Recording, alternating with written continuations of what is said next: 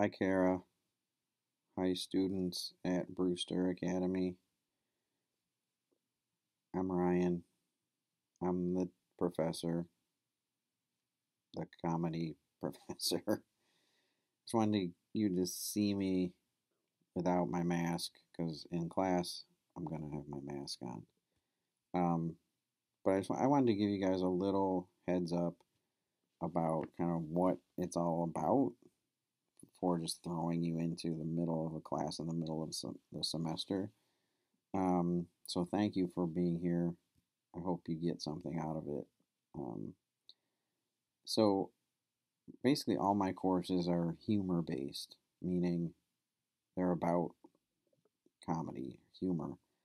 Um, I do a TV class, I do a film class, I do a stand up class, I do a animated sitcoms class, I do humor across the media, I do a political humor class, I do a philosophy of humor class, you get the point.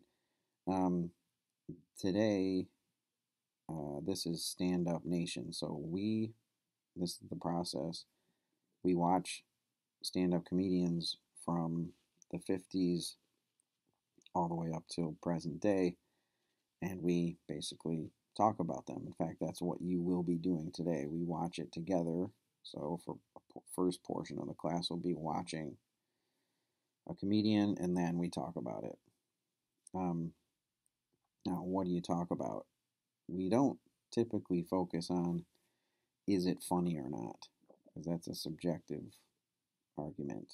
And that's an argument that we sort of leave for the dinner table or with your friends or wherever hanging out. Oh, he's funny. I don't think he's funny. She's funny. No, she's not. Blah, blah, blah.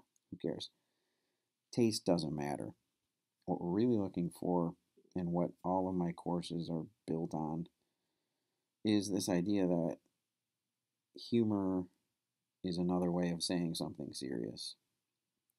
And that really good comedy comes from a place of injustice or um, well the the saying I typically use is humor exists where things are most fucked up and that's where good comedy starts. It finds something that is messed up and goes from there.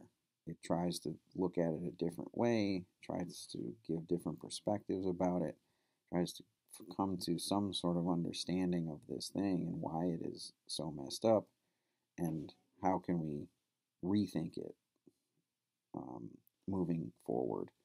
So we're going to watch you know we've been doing it for a couple months now but you're going to join us in watching a comedian today and then we're going to talk about sort of what this comedian is doing to um, just to change the way we think about things, I guess, because most comedians have very strong points of view. Um, and it's important to, the first thing you have to do is understand that humor and comedy isn't just about laughs, right? You've been trained, my generation was trained and conditioned to think, oh, comedy means silliness, comedy means the absence of meaning, which is not true. And we need to stop thinking that, basically. Um, I'm sure you watch funny things that have meaning, um, but everything has meaning if you're looking for it. And we just don't typically look for it in comedy, um, something that I'll ask you to keep in mind is that you should be in everything you do, every experience in your life, you should be seeking two things entertainment and enlightenment. If you can do these things, you can seek those and find them, you will be a very happy person. Entertainment and enlightenment, everything. Your relationships, your job, the the TV you watch, the um, your your family, everything.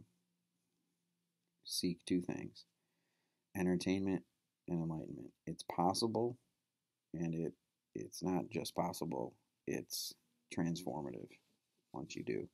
So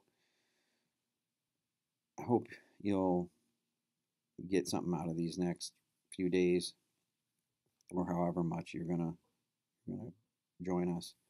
And um, thanks again. And hey, come to Binghamton, maybe.